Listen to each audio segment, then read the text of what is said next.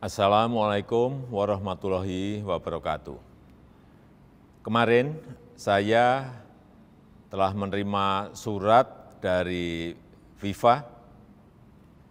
Ini adalah tindak lanjut dari hasil pembicaraan saya per telpon dengan Presiden FIFA Gianni Infantino pada tanggal 3 Oktober 2022 yang lalu.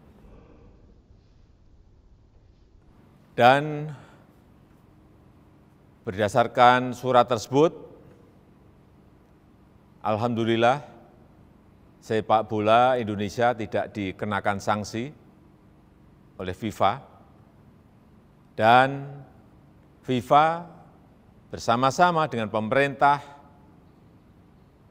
akan membentuk tim transformasi sepak bola Indonesia.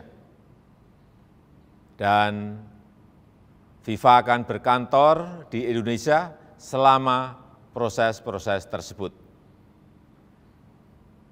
Selain itu, akan dilakukan langkah-langkah kolaborasi antara FIFA, AFC, dan pemerintah Indonesia untuk yang pertama membangun standar keamanan stadion untuk stadion-stadion yang ada di negara kita Indonesia.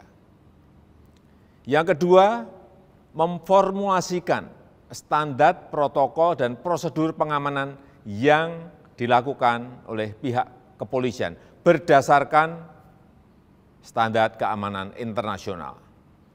Yang ketiga, kita juga akan bersama-sama melakukan sosialisasi dan diskusi dengan klub-klub bola di Indonesia, termasuk perwakilan supporter, untuk mendapatkan saran dan masukan serta komitmen bersama. Yang keempat, tentang pengaturan jadwal pertandingan yang memperhitungkan potensi-potensi risiko yang ada. Serta yang kelima, pendampingan dari para ahli di bidangnya.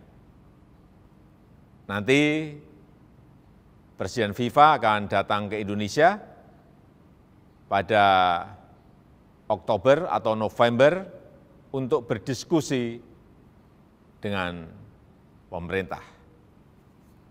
Terima kasih. Wassalamualaikum warahmatullahi wabarakatuh.